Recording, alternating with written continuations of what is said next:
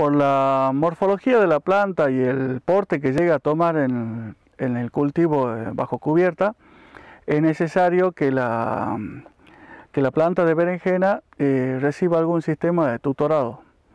En estos casos, en esta finca, se pueden ver que hay varillas puestas en la, línea en que están las plantas y sobre esas, eh, en esas varillas se van a tirar después alambres donde va a ir atada con totora los gajos de la berenjena.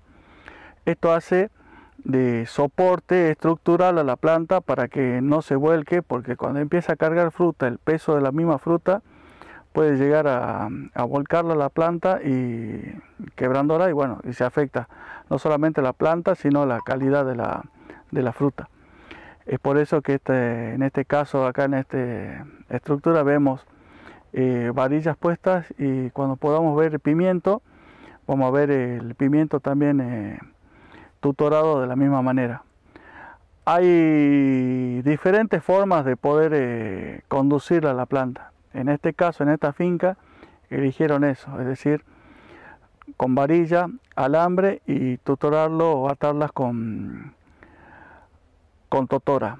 Eh, hay otros casos en que a la, planta eh, la acompañan y le ponen de la parte exterior unas redes que sirve como soporte de laterales a la planta y queda la planta como si fuera una espaldera a lo, largo de esas redes. Otra forma también que hacen algunos es eh, reemplazar esas redes por cintas de riego eh, que ya quedaron en desuso, las vuelven a reutilizar y las ponen eh, haciendo un, un tutorado lateral hacia lo largo de las plantas y quedan las plantas como si fuera un sándwich. Queda la planta en el medio de la, de de, hechas con, las cintas de riego. Eso también lo hacen con, se puede hacer con alambre o con algunos otros materiales.